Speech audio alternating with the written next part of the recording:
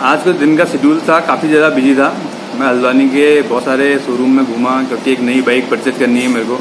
और जो मेरा एस्टीमेट है, वो लाख से 1.5 लाख तक है। और मुझे थोड़ा कन्फ्यूज़न हो गया बहुत ज़्यादा कि मैं कौन सी बाइक खरीदूँ। और बहुत ज़्यादा शोरूम में गया यमा के भी गया रॉयल इनफील्ड के भी गया हीरो में भी गया बजाज में भी गया। और समझ में नहीं आ रहा था कि कौन सी बाइक खरीदूँ। और कुछ बाइक में सेलेक्ट कर की हैं, मुझे नेक्स्ट वीक या नेक्स्ट टू वीक तक मुझे कोई बाइक लेनी पड़ेगी अपने लिए, क्योंकि मैं अपनी पुरानी वाली बाइक किसी को दे चुका हूँ, क्योंकि मैंने बहुत ज़्यादा चलाई थी उसका पिकअप पिकअप बहुत ज़्यादा डाउन हो गया था। अब यह है कि बहुत ज़्यादा कन्फ्यूज़न भी है। अगर आप लोग सजेस्ट कर सकते हो, आप लोग कमेंट बॉक्स में सजेस्ट कर सकते हो कि मुझे कौन सी बाइक लेनी चाहिए।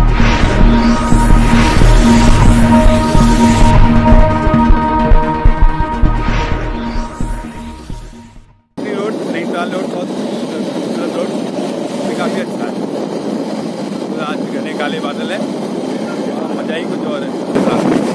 यार, अगर मऊ में जाना है तो काटू नाम आना ही पड़ेगा, वो तो गारंटी बात है। और हल्द्वानी भी क्रॉस करना पड़ेगा। लेकिन मैं आपको कहीं दिखाऊँगा कि ये काटू नाम रेलवे स्टेशन है, ये नैनीताल रोड है तो सामने पहाड़ है, ये नहीं दिखाऊँगा। लेकिन इधर आया था कुछ काम था। अचानक से प्लान बना है कि जाएँगे तो जाएँगे हम लोग। में रात आज आके रात में नज़ारे देखेंगे और होता कि कल को दो दिन का वीकेंड है तो होता कि कल देखते हैं कि कल को कहाँ एक्सप्लोर करते हैं भीमताल के आसपास वाले एरिया जो मैंने भी आपको दिखाई है। तो चलते हैं भीमताल की कुछ ऐसा नज़ारा है मेरे पीछे का, देखो। अभी मैं रुका हूँ मक्का खाने के लिए। यहाँ पर भुट्टे बड़े अच्छे बनते हैं। बहुत सारी शॉप हैं, तीन चार हैं करीब। और मस्त हरी रंग की चटनी के साथ बना के दिया उन्होंने मक्का। काफ़ी अच्छा होता है, जब भी आप आए बरसात के टाइम में तो काफ़ी मुझे स्वादिष्ट लगता है। और टाइम के मालूम नहीं। क्योंकि आज का सीज़न इसी का ही है तो काफ़ी स्वादिष्ट है। तो ये ज़रूर खाना है। पीछे का नज़ारा देखो, पीछे पूरी गोला रिवर दिखाई दे रही है और हल्का धुंधला सा ये हल्द्वानी का कुछ खूबसूरत नज़ारा, जो आपने पिछला वीडियो देखा था तो सामने जो पहाड़ है, मैं उसके ऊपर, ठीक ऊपर गया था। वहीं के रास्ते में हेड़ाकान गया था। उसका डिस्क्रिप्शन में लिंक मैं डाल दूँगा। और ये सामने पूरी वैली और ये जूम करके आपको मैं दिखा रहा हूँ, ये है छोटा कैलाश। इसका भी मैंने वीडियो बना चुका हूँ पहले। और उसका भी मैं डिस्क्रिप्शन में डाल दूँगा।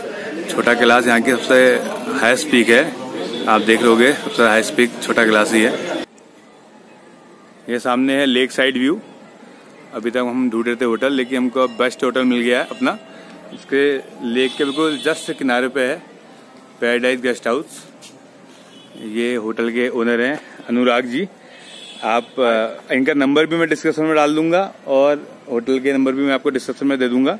कभी भी आप आओ और आपको भीमताल के किनारे अगर रुकना हो तो आप इनके होटल में आके आराम से रह सकते हैं। और ज़्यादा हाई रेट भी नहीं है, ठीक है, आपको भीमताल में सबसे सस्ते कमरे इधर ही मिलेंगे। इसके बाद मैं आपको रूम दिखाता हूँ, और रूम के बाहर का नज़ारा। है रूम की कंडीशन रूम देखिए आप, एक डबल बेड है और एक तीसरा बंदा भी रह सकता है यहाँ पे उधर वार्डरूब है, उसके अंदर है आपके वॉशरूम और एलसीडी लगा हुआ है। रूम की कंडीशन ठीक है बाहर भी मतलब ले रात में निकले थे खाने की तलाश में। ठीक पीछे रेस्टोरेंट है, ऋतुराज। बिल्कुल तो लेक के बिल्कुल पास में ही है। खाना सही है, हमने खा लिया खाना।